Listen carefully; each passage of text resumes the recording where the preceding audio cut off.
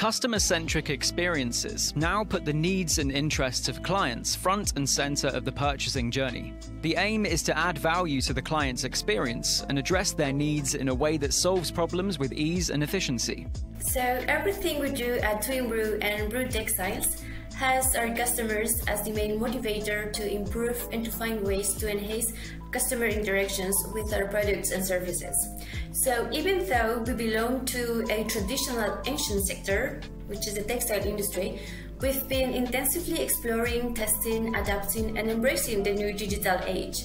So after building up a huge assets and content base and gaining lots of knowledge and experience at being a digital business, we felt it was time to take our customers into this adventure with us. So many collaborations have already started, but one of the most remarkable ones is definitely the one with James Dunlop.